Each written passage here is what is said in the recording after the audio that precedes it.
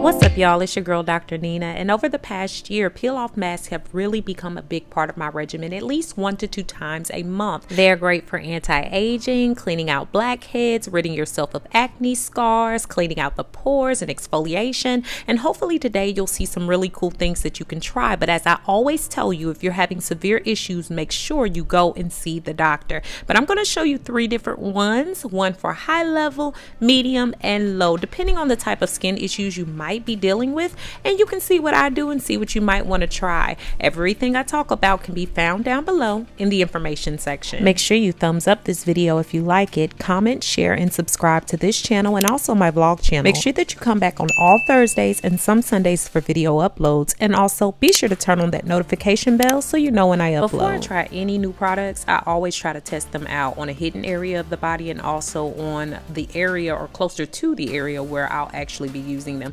This just makes sure that I'm not going to have an allergic reaction and I usually try to do that at least 24 to 48 hours in advance just to see how my body reacts. Before I do a mask to make sure I'm getting all the benefits from it, I try to make sure that I exfoliate. So I'm going to be using my Glowspin, which is all new from Vanity Planet that they brought out with the new two speeds and also three detachable brush heads. But I'm using it to focus on that bottom area of my face and my T-zone where I break out the most. But I'm using the softest brush head because I'm just just wanting to make sure that the surface of the skin is really good and clean so that these masks give me the maximal benefits. And you guys know for years I've used plain paper towels to blot my face dry, which leaves just a little bit of moisture, but I've done this for years because I don't like the bacteria that can be deposited on my face from even plain clean towels. So that's what I've done and it's worked well for me. I'm gonna leave this link down below if you wanna try out the Glowspin down below in the information section, but also I'm giving one away so check the information section on all the details on how to win. The mask I'm going to be focusing on today is my milk and glycerin mask, which I love because when I am having big problems with those good old blackheads and want to smooth that skin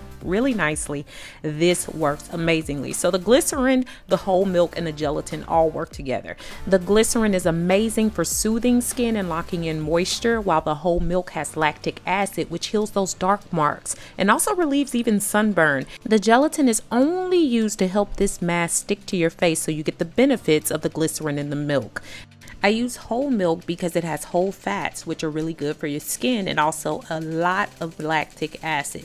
So it's going to help with soothing that skin. Once you've brought your milk to a light boil because you don't want it to burn, you're going to make sure you start to slowly pour in that gelatin. I like to do it in segments so that I don't have too much to mix in. And plus, if you do it too fast, you'll end up with this hard, clumpy, like jello like thing. Take this message from an OG. I have done this mask several times and it's going to benefit you to do it slowly and then also let it cool to room temperature. You don't want it too cold or too hot.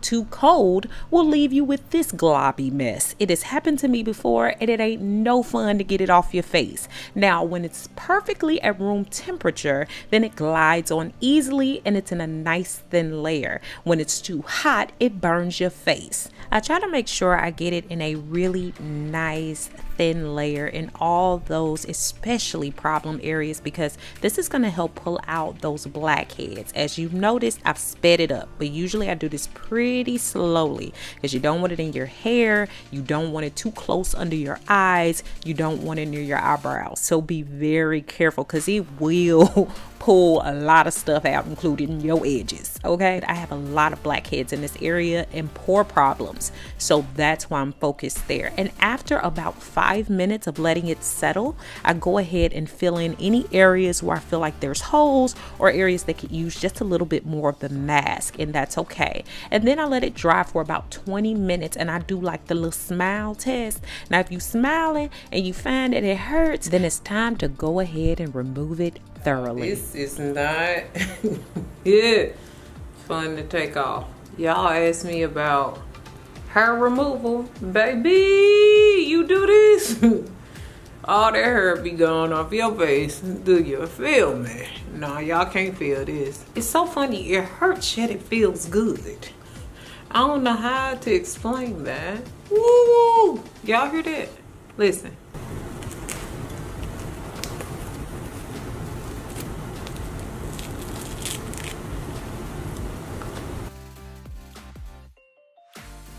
Every hair I owned on my lip is probably not alive anymore. Now, though I have sped this up, I am still pulling gently. It took me a little while and it's good to take your time. You don't want to rip your hair out. you don't want to rip your face off. None of that. We're not trying to damage the skin. We're trying to get good benefits from the mask. So make sure you take your time and basically try and make sure that you're pulling upward so your skin stays going up. Except on your forehead, it's almost impossible. If you find you got some in your hair or in your eyebrows, just rinse that area with lukewarm water until it comes out. Don't rip it out. Look at that. First off, this look like Leatherface. This got a lot of facial hair out. I don't know if y'all can see that. But here in the nose area and around like my cheeks where I get blackheads, where it's the biggest problem.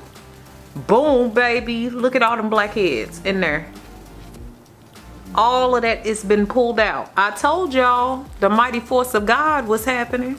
This probably could be a very good option for hair removal. When I'm now. done, I'll go ahead and tone with a little bit of witch hazel. I use my Kiehl's eye cream and my Renewed Hope in a jar to go ahead and make sure that my moisture game is on point because your face will be a little drier than normal. Now, my face feels very soft. I will say that soft and smooth, and my pores look a bit less noticeable.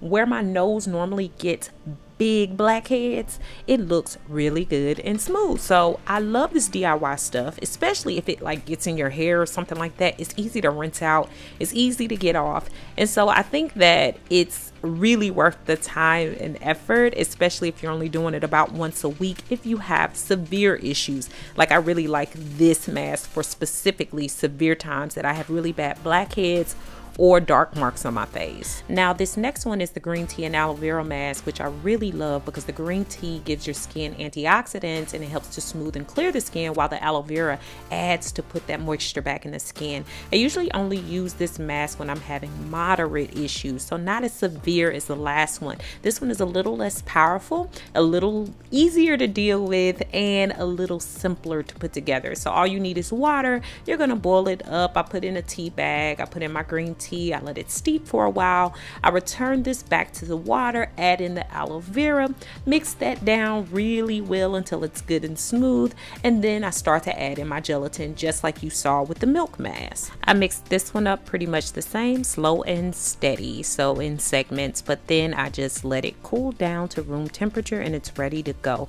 This is the mask I showed you guys on my patch test, and like I said, it's only for when I have like those moderate issues, and I can use this one a little bit more often than I can the first one because it's not nearly as powerful as you see. This one is the lightest option of the three and it is a non-gelatin method. So it uses cucumber and glycerin and tissue paper. This one seems to really help to soothe dry patches and it calms down the inflammation because of the cucumber. The glycerin also helps to put that moisture back in. The tissue paper is really just used to help you be able to peel it just a little bit. So this one is for more sensitive skin. So when I'm having some irritation, that's when I use this one when I'm not trying to peel a lot. I add just a splash of water to the cucumber and I blend it down. That's all I did here and I add in the glycerin and then I take my brush and I paint that on. You want a nice thick layer so then when you do add your tissue paper it has something to stick to and dry to so you have a mild peeling effect. And I let this dry completely for about 20 minutes. You want to be very careful to peel it off slowly and this one's going to come off easier anyway because it doesn't have the gelatin. And then it usually leaves my skin feeling pretty soft after I rub off and get off all the remnants of the mask. Thank you so much for being with me today, guys. I hope you learned a lot. Make sure that you comment, share this video with someone who can use it, and subscribe. Thanks so much for watching, guys. Beautiful brown baby doll. Peace. Thanks so much for all the love and support over on my new website. If you haven't already, go ahead and check it out and join me for new ways to interact with me, giveaways and prizes, weekly emails, as well as my free eight day supernatural video course, which is free when you sign up.